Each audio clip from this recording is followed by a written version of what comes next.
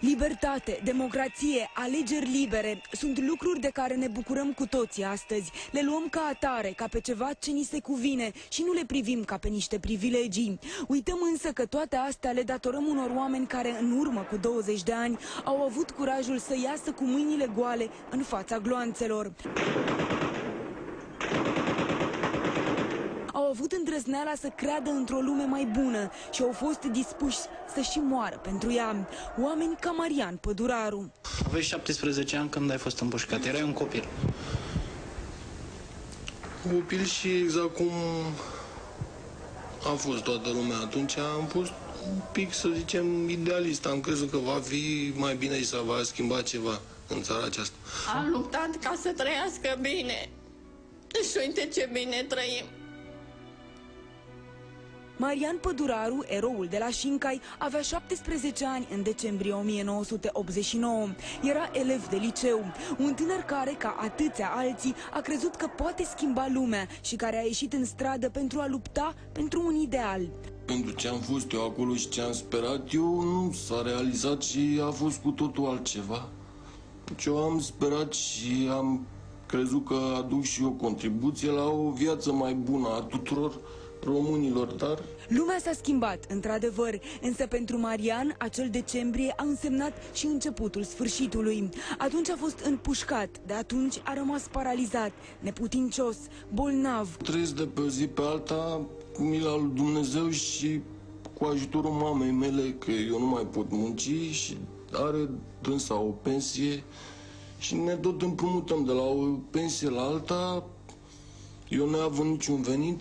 De atunci a luptat pentru dreptatea sa. A cerut, a implorat și a rugat pentru un singur lucru. Să primească și el, ca toți ceilalți care au luptat pentru libertatea de care ne bucurăm cu toții, un ajutor. Duminica Tomi, eu mi-am găsit băiatul cu lațul la gât. Și astăzi, și noaptea și ziua am același coșmar cum l-am văzut că se chinuie. Când a vrut să se spânzure.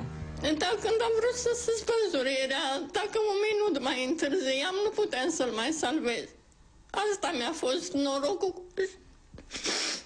că am putut să, să-l salvez. Cu toate că reproșează acum când spune, mamă, mi-e foame, dar să mănânc și eu, n-am ce să-i dau să mănânce. Vă închipuiți cum este, spune, de ce mamă nu mai lăsa să mor? Ai vrut-o pentru mama ta? Da, am considerat că poate dacă aș muri acum, poate măcar pe ea ar ajuta o statul român. Dar mama mi-a reproșat, mi-a spus, de ce ai făcut-o, mamă, cu ce te îngropăm? Și sunt mai multe.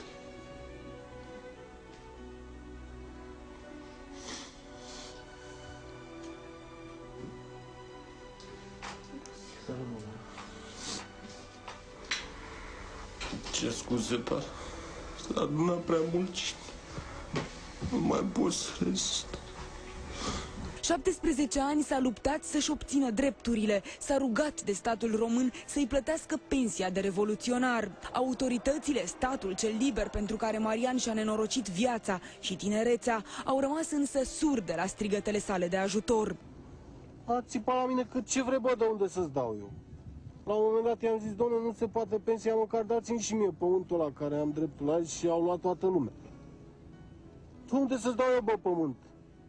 Eu am făcut greva foamei ca să-mi obțin pământul și i-am zis, spuneți-mi și mie unde să mă duc să fac și eu greva foamei, că eu fac oricum greva foamei fără să știe nimeni. Eu stau nemâncat săptămâni întregi, nu mănânc o coajă de pâine. Bă, obraznic este Obraznic. Are frică de tine, tu nu vezi? Cine ce tare Cine? Cu bătaie lasă și cu jurătările, da? Te rog eu frumos, să nu te dau frigul ăsta. Mă, dar nu mai trebuie ori mai faci așa, cum mai trebuie să bani, nu mai trebuie. Nu mai Nu mă și necadă, ți-am spus până ai tremurat aici, nu mai cădați. Și te-am ajutat toți, du-ți rușine. frumos. Când în cele din urmă urechile s-au destupat, iar statul s-a îndurat de el și a acordat pensia de revoluționar, era deja prea târziu. După eu să mai avem puțin și vine pensia și mergem la mare în care trei zile. Marian Păduraru, eroul de la Șincai, murise deja.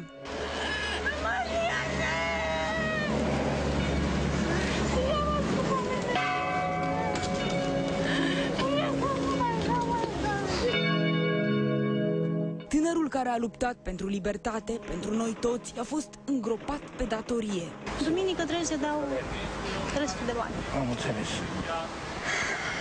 Dar să măcar să facem groapa acum, groparea Da, da, da, s-a făcut. Niciun cimitir nu vrea să-l ajute. Cum nu l-a ajutat nici în viață, că am alergat cu el să-și ceară drepturile. A fost internat în spital. A fost, am alergat cu el la comisie să-și ceară drepturile de revoluționar. A fost revoluționar, a fost împușcat și nu a primit niciun drept decât diplome și atât. Iar alții pe care îi cunosc personal, dar nu pot permite că nu mă puteți proteja, nu au participat la revoluție, s-au împiedicat în casă și au rupt mâna și au certificate și au beneficiat de spații comerciale, de terenuri și de multe facilități.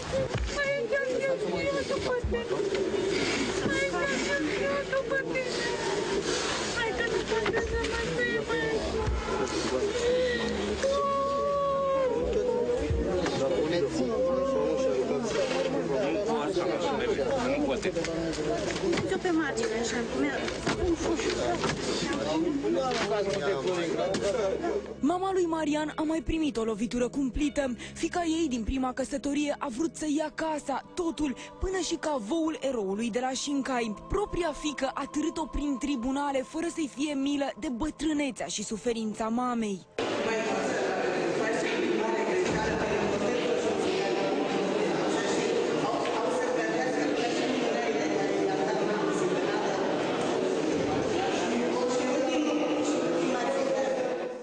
Dacă vrea să mă scoată afară din casă, mă duc și stau în colț în stradă. Ce să fac?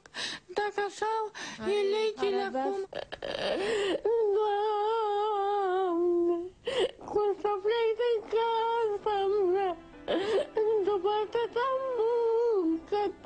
În urmă cu trei săptămâni, mama lui Marian a murit.